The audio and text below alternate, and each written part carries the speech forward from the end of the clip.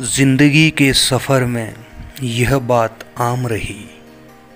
मोड़ तो कई आए पर मंजिल हमेशा अनजान ही रही। कुछ जुनून ऐसा पाल बैठे हैं हम कि लोग तो हंसेंगे ही। अब तो सहना भी यही है और रहना भी यही है।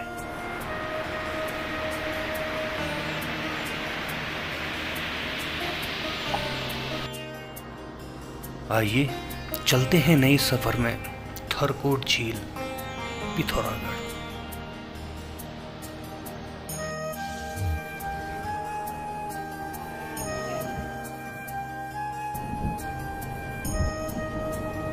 टनकपुर से चंपावत घाट होते हुए इन खूबसूरत हरी भरी वादियों के बीचों बीच हम बढ़ चले पिथौरागढ़ रास्ते में गुरना देवी मंदिर के दर्शन ज़रूर कीजिएगा। बहुत आस्था है इस मंदिर में वाहन चालकों की। गाड़ियों के पीछे जय माँ गुरना देवी लिखा हुआ ज़रूर देखेंगे। गुरना देवी के बाद हम बढ़ चले थरकोट झील की तरफ़। उसके लिए पहले हमें पहुँचना पड़ेगा थरकोट गाँव। आइए पता करते हैं इनसे। दादी, ये थरकोट झील कहाँ पर हुई आगे है पिथौरागढ़ की तरफ़ बढ़ते हुए 12 किलोमीटर पहले ही हमें फ़र्स्ट व्यू दिखाई दिया इस थरकोट लेक का। आइए देखते हैं कैसा दिखता है सड़क मार्ग से यह थरकोट लेक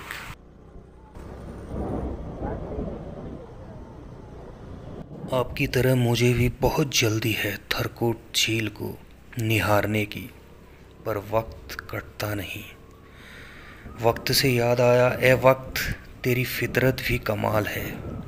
ए वक्त तेरी फितरत भी कमाल है, ना कहीं पर रुकता है, ना किसी की सुनता है।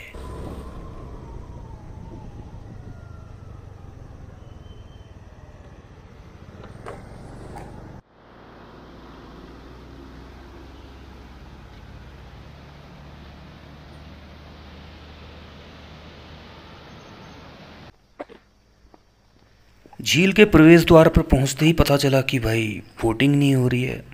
खैर, ख्वाहिश मारकर और किस्मत को दोष देकर हम आगे बढ़े कुछ इन लाइनों के साथ कि हमारी मोहब्बतों की इंतहा देखो शेखर, हमारी मोहब्बतों की इंतहा देखो शेखर, कहीं हवाओं से, कभी हँसी वादियों से तो कभी बादलों से दिल लगा बैठे हैं। एक अजीब सी शांति महसूस हो रही थी लेक की तरफ़ बढ़ते हुए, पर फ़िलहाल कुछ बात कर लेते हैं आप लोगों से। तो मित्रों, स्वागत है आपका एक न्यू ब्लॉग में। आए हैं आज थरकोट झील, पिथौरागढ़, जो हाल ही में नवनिर्मित झील है। बेसिकली ये छोटी सी नदी थी, लेकिन काफ़ी कोशिश के बाद उत्तराखंड गवर्नमेंट ने बहुत अच्छी लेक बनाई है। और अभी बोटिंग मैंने पता किया था ऊपर मैगी पॉइंट पर भैया थे तो वो बता रहे थे बोटिंग फ़िलहाल बंद है।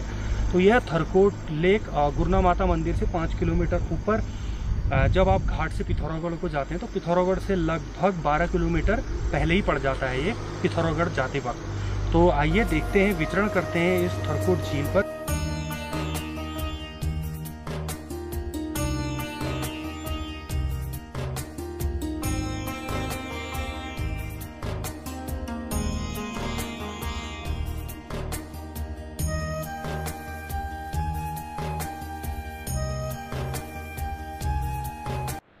सो कभी इसका उद्घाटन हुआ होगा तो उसके लिए फ्लैग लैग बड़े अच्छे से दिख रहे हैं। और ऊपर देखिए, वो रोड है पिथौरागढ़, जहाँ से हम पिथौरागढ़ रोड वहाँ से हम नीचे आए थे और काफ़ी अच्छा ये फुटपाथ जैसा बना रखा है।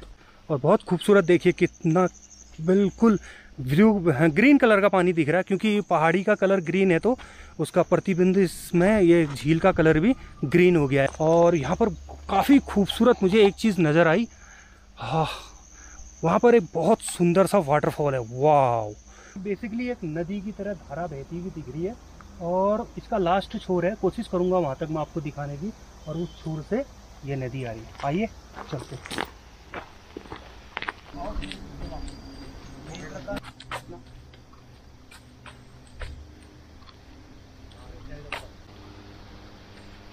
कैसा लग रहा हूँ मैं? सबसे ब्यूटीफुल देखिए। बहुत कम से कम डेढ़ सौ मीटर ऊपर से ये फॉल गिर रहा है।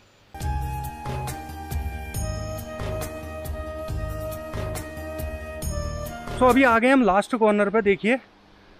इस साइड देखिए, कितना खूबसूरत पेड़ नज़र आ रहा है। क्या खूबसूरती बिखेर रखी है इस कायनात ने। पूरे येलो कलर की उसकी पत्तियाँ हैं। थरकोट लेक का हम लास्ट कॉर्नर पर आ गए हैं। फ़िलहाल बोटिंग इधर नहीं चल रही, लेकिन लेक काफ़ी खूबसूरत है।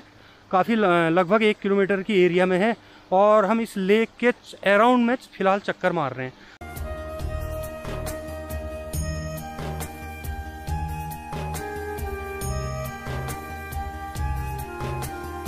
भाई, फॉल देखने आया था, लेकिन वो फंस गया हूँ। कोशिश कर रहा हूँ आपको, वो फॉल के नज़दीक से नज़दीक साउंड आ रही है, लेकिन रास्ता नहीं बन रहा, घास देखो। ये मेरी हाइट है, मेरी हाइट से भी ऊँची है, घास हो गई है। बेसिकली ये खेत हैं, देखिए, लेकिन ये घास बहुत बड़ी हो रही, जानवरों को खिलाई जाती है ये, और वो रही थरकोट लेक। और ये नाशपाती का पेड़ है, वो आड़ू और खुमा, आड़ू या खुमानी का है, ये आड़ू का, वो खुमानी का। और इसी तरह के बहुत सारे पेड़ लगाए हुए ये प्रॉपर्टी किसी बंदे की है। इस तरफ़ देखिए आप, ये पत्ते देख रहे हैं, ये रही हल्दी। तो आइए चलते हैं, सामने देखिए, यहाँ पर है वो थरकोट फॉल। बहुत मुश्किल है भाई। और मुझे तो इतनी बड़ी टाइगर ग्रास जैसी लग रही है। वाटरफॉल जस्ट सामने है, लेकिन दिखने का नामो निशान नहीं है। भाई साहब, अगर आप पहाड़ी हैं तो आप इस फल को पहचान गए होंगे। बताइए किस चीज़ का फल है? शायद इसको पहाड़ी में बेड़ू कहते हैं। तो वो गाना तो आपने सुना ही होगा ना? बेड़ू पाको बारो मासा ओ नैरण का फल पाको चैता मेरी छेला। सो so, मित्रों फॉल दिखाने जा रहा था भाई। इतनी बड़ी बड़ी घास है और रास्ता मिला नहीं तो फॉल तो आपको दिखा नहीं पाया। लेकिन हमारी कोशिशें जारी रहेंगी। नेक्स्ट टाइम कभी भी आएँगे तो फॉल आपको ज़रूर दिखाएँगे। मुझे लग रहा है वो बरसाती फॉल है तो ठंडियों में थोड़ी बहुत मात्रा में पानी गर्मी में वो सूख जाता हुआ। आइए व्यू पॉइंट मिला है देख लेते हैं इसी थरकोट झील का। सो so, ये रही थरकोट लेक बेहद खूबसूरत। कभी भी आप पिथौरागढ़ जाएँ तो विज़िट ज़रूर करें। मस्ट विज़िट प्लेस है और सबसे बड़ी बात है कि रोड के जस्ट नीचे है। तो रोड से भी आप निहार सकते हैं और अंदर आना चाहते हैं तो अंदर भी आ सकते हैं। शायद यहाँ आने वाले टाइम पर थोड़ा बहुत रेंट कर लें, लेकिन यह उत्तराखंड में ज़्यादा रेंट नहीं होता है। मुश्किल से बीस रुपया, तीस रुपया, अधिक से अधिक फिफ्टी रुपीज़ थरकोट झील की खूबसूरती देख के दो लाइनें याद आ गई कि दिल में एक लहर सी उठी है अभी। दिल में एक लहर सी उठी है अभी, कोई ताज़ा हवा चली है अभी। बहुत ठंडी हवा महसूस हो रही है हमें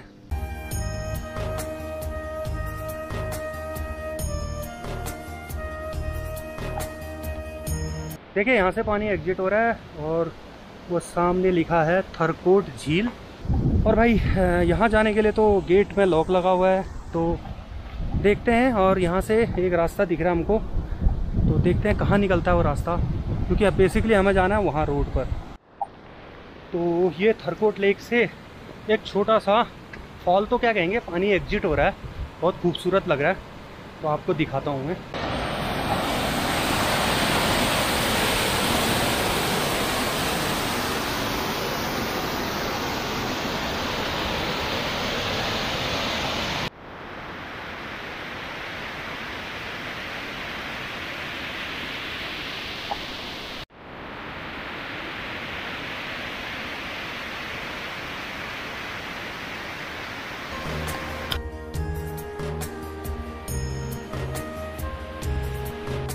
भाई, एक छोटी सी ट्रेजिडी हो गई।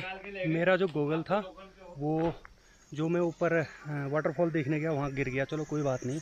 थरकोट लेक पर जब कभी भी आप जाते हैं तो सामने आपको ये फास्ट फ़ूड पॉइंट मिलेगा, जिसे बोलते हैं फ़ूड वैन और हमारे दाजू उधर फ़र्स्ट क्लास डिशेस बनाते हैं। Tea fast food hard drive तो आइए जानते हैं उन्हीं से क्या क्या बनाते हैं। तो दाजू बताओ क्या क्या बनाते हो आप? हम sir, fish pakora, chicken pakora, momo, veg non veg दोनों, मैगी, चाउमीन, ब्रेड अंडा और चिकन राइस, चिकन पकौड़ा और मीट चावल। देखिए, मीट चावल तो खाना भी आप इधर आके खा सकते हैं। बाकी छोटा मोटा स्नैक्स मिल जाएगा। हमने पानी की बोतल ली यहाँ पर। बिल्कुल चिल्ड मिली। तो एक ही पैन है ये और ज़रूर इधर विज़िट कीजिए आप और स्ट्रीट फ़ूड का मज़ा मज़ा उठाइए। ये देखिए फ़िलहाल ये क्या बन रहा है? ये अभी मैगी बननी सर। देखिए मैगी बननी है और मैगी बन रही है हमारे भाई साहब के लिए। क्या नाम हुआ गुरु जी इसरार अहमद और आपका?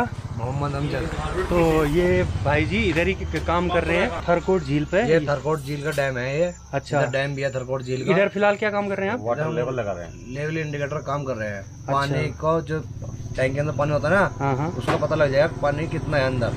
तो क्या कहते हैं कहाँ वो ऐसे कहाँ के रहने वाले आप? हरिद्वार। तो ये दोनों भाई साहब हमारे हरिद्वार के रहने वाले हैं। तो इन दोनों अभी हमारी वीडियो चेक कर रहे हैं चैनल चेकआउट कर रहे हैं। और ये बन रहा है इधर मैगी। तो ज़रूर से ज़रूर आइए आपका नाम बता दीजिए दाजू। मेरा नाम जगदीश प्रसाद सुराड़ी। तो ये था थरकोट लेक के ठीक सामने। तो पंद्रह पंद्रह फिफ्टीन सेप्टेम्बर से शुरू होने वाली है इधर बोटिंग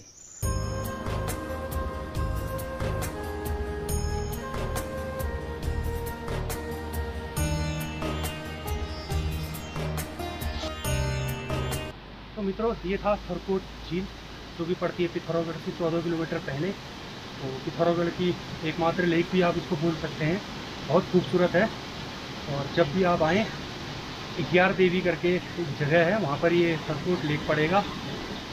तो कैसा लगा आपको ब्लॉग ज़रूर बताइए, सपोर्ट कीजिए, सब्सक्राइब कीजिए। ऐसे ही हिडन प्लेसेस उत्तराखंड की आपके लिए आती रहेंगी। ऐसे ही खूबसूरत प्लेसेस हम आपके लिए लाते रहेंगे। Last view of Tharkot lake